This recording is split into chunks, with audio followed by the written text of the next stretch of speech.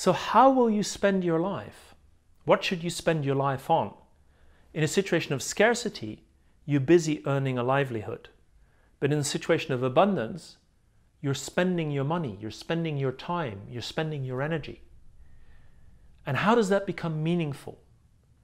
Now, meaning actually comes from doing things that you enjoy doing, things that matter to you, things that engage you, that challenge you. They shouldn't be too easy, otherwise, they're boring. They shouldn't be too difficult, otherwise, they're frustrating. They will involve other people and they will bring you joy, they will engage your talents.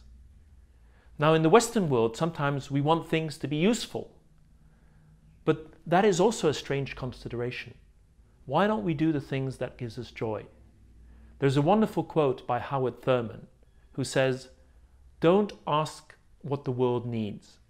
Ask what makes you come alive and then go and do it.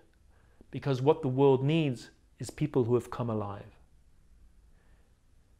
So, in an abundant world, the structure of our universe is life is energy emptying itself in time. My life is energy emptying itself in time. And your life is energy emptying itself in time. Now, what will you spend that life on?